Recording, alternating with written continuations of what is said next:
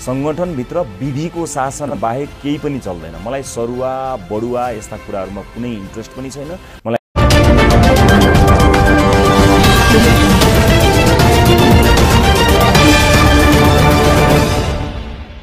मलेसियामा बन्धक बनाइएका थप बाह्रजना नेपाली नेपाल फर्किए। कोटेश्वरमा कोइला बालेर सुत्दा चारजना अचेत फेला आइसियुमा उपचार हुँदै पोखरामा प्लेन खसेको ठाउँमा के के भेटियो यति धेरै रहेछन् मनै रुहाउने सामान? चार चारजना उप प्रधानमन्त्री किन चाहियो? जनताले तिरेको कर लुटेर खान? गृह मन्त्री रवि लामी छाने भर्खरै भयङ्कर दुर्घटना यादवको मृत्यु। हिम पहिरोमा कम्तीमा आठजनाको मृत्यु। पुराना फरार आरोपीहरू समात्ने र नयाँ फरार हुन नपाउने गृह मन्त्री लामी छानेको दावी। र ताप्लेजुङमा पहिलो पटक महिला सिडियो। आजको यो भिडियोमा यो सब अपडेटले हजुरमा आज उपस्थित भइसकेको छु। यो सब जानकारी पाउनको लागि भिडियोलाई सुरुदेखि अन्तिमसम्म फलो गर्नुहोला। केही सुझाव सल्लाह छ भने तल कमेन्ट गर्नुहोला। भिडियोलाई सक्दो सेयर गरी सबै नेपालीसम्म पुर्याउन मद्दत पनि गर्नुहोला। हजुरको एउटा सेयरले गर्दाखेरि धेरै नेपालीलाई केही न केही जानकारी मिल्नेछ। मैले आफूले जानेका बुझेका कुराहरू हजुरहरूलाई बताउने गर्दछु। नयाँ आउनु भएको छ अझै पनि हाम्रो च्यानलसँग जोडिनु भएको छैन भने सब्सक्राइब र साथमा रहेको घन्टीलाई दबाई हामीसँग जोडिनुहोला। अब ढिला नगरिकन लागौँ आजको विषयवस्तुतिर। दर्शकबिन उप प्रधान तथा गृहमन्त्री रवि लामिछानेले फरार भएका पुराना आरोपीहरूलाई समात्ने तथा नयाँ आरोपीहरू फरार हुन नपाउने बताउनु भएको छ। सामाजिक सञ्जाल फेसबुकमा उहाँले आफूले हिजो बोलेका शब्द शब्दको एक्का रहेको बताउँदै कुनै पनि आरोपीहरू फरार हुन नपाउने बताउनु भएको हो। नागरिकसँग भोट माग्दा गरेका बाचाहरूको आफूलाई हेक्का रहेको र ती बाचा पुरा गर्न तथा नागरिकको जीवन बदल्न मेहनत गरिरहेको उहाँको भनाइ छ। धुलो धेरै छ पुरानो छ थोरै पर्खनु चाहिँ पर्छ गृहमन्त्री लामी छाने सामाजिक सञ्जाल फेसबुकमा लेख्नु भएको छ। गृह मन्त्रालयले प्रहरी प्रधान कार्यालयलाई हिजो कर्तव्य ज्यान मुद्दाको अभियोगमा फरार सूचीमा रहेका सांसद लक्ष्मी महतो कोइरालालाई पक्राउ गर्न निर्देशन समेत दिएको छ। त्यस्तै दर्शकबिन काठमाडौँको कोटेश्वरमा कोइला बालेर सुत्दा चारजना अचेत अवस्थामा फेला परेका छन्। शुक्रबार राति आठ बजे काठमाडौँ महानगरपालिका बत्तिस कोटेश्वर सहयोगी स्थित कुमार पाँच तले घरमा चारजना निशानिएर अचेत अवस्थामा फेला परेको जिल्ला प्रहरी परिषद काठमाडौँका एसपी दानबहादुर कार्कीले जानकारी दिए। पाँचौँ तलामा कोठाको झ्यालढोका बंद गरी कोइला बालेर आगो ताप्ने क्रममा त्यहाँ रहेका चारजनालाई एक्कासी श्वास प्रश्वासमा समस्या आउँदा थिए। सोही घरमा बस्नेले थाहा पाएपछि ढोका खोलेर हेर्दा उनीहरू अचेत अवस्थामा फेला परेको एसपी कार्कीले बताए। पैँतिस दिनको बच्चा पनि थियो। जाडो भएको हुनाले मक्कल बालेका रहेछन्। नजिकैका एकजनाले देखेपछि अस्पताल पुर्याए उनले भने गुम्सिएपछि कोठामा अक्सिजनको कमी भएर निसानिएर निसानिँदै जाँच। जान्छ नब्बे वर्षीय छलमाया खत्री सत्तरी वर्षीय सिलमाया कुटुवाल चौबिस वर्षीय पर्मिला खत्री र पैँतिस दिनका छोरा सियाल खड्का अचेत अवस्थामा फेला परेका हुन्। उनीहरूलाई तत्कालीन उपचारको लागि बानेश्वर स्थित सिभिल अस्पतालमा पुर्याइएको थियो। उनीहरूको आइसियुमा उपचार भइरहेको छ। यस्तै सिभिलमा आइसियु खाली नभएपछि छलमायाको थप उपचारको लागि छाउनी स्थित नेपाली सेनाको अस्पतालमा रिफर गरिएको हो। प्रहरीले कोठाभित्र मकर हिटर बालेर नसुत्न अनुरोध गरेको छ।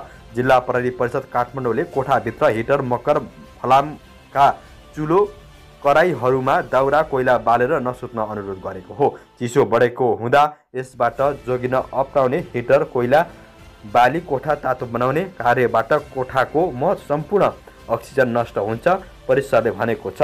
त्यसपछि कार्बन मानव अक्सिजन समेत बनेर कोठाभित्र मानिसको सुरुमा सुरुमा टाउको दुख्ने वाकवाकी लाग्ने विगट लाग्ने निशानिएर बेहोस हुने र पछि थाहै नपाई निधन समेत हुने गरेको छ।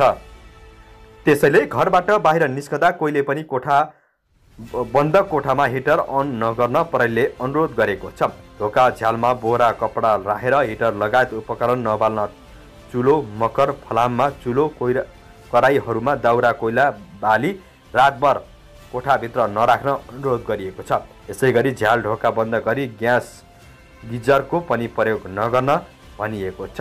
विद्युतीय उपकरणका स्विच पल्टिगमलाई काम सकिएपछि बन्द गर्न ग्यासको सिलिन्डरलाई कोठाभन्दा बाहिर राख्न र काम सकिएपछि बन्द गर्न प्रहरीले अनुरोध गरेको छ। त्यस्तै दर्शकबिन मलेसियामा बन्धक बनाइएका थप बाह्रजनाको उद्धार भएको छ। नेपाल सरकारको पहलमा बन्धक बनेको बिस दिनपछि शुक्रबार गोर्खाका तिन सहित बाह्रजना नेपाल फर्किएका हुन्। बन्धक बनाइएका उन्नाइस मध्ये सातजनाको अघिल्लो बुधबार उद्धार भएको थियो। शुक्रबार गोर्खाका विष्णुप्रसाद ढकाल सुजन गौतम टिकाराम गो गोतामे मकवानपुरका प्रदीप कोइराला र देश बहादुर सुवेदी उदयपुरका इन्द्र बहादुर छेत्री सप्तरीका सुनिल अधिकारी रोहतटका हजारी प्रसाद पटेल बिरोवार राई यादव हिरालाल राउत चितवनका सन्तोष परिवार र धादिङका सुजा सुरज खड्का नेपाल फर्किएका हुन्। उनीहरू आफैले विमान भाडा बेहोरेर फर्किएका हुन्। रोजगारीका सिलसिलामा मलेसिया पुगेकाहरू पुस सत्र गतेबाट केलाङ भन्ने सहरको एक भवनको तेर्सो तलामा बन्धक बनाइएका थिए।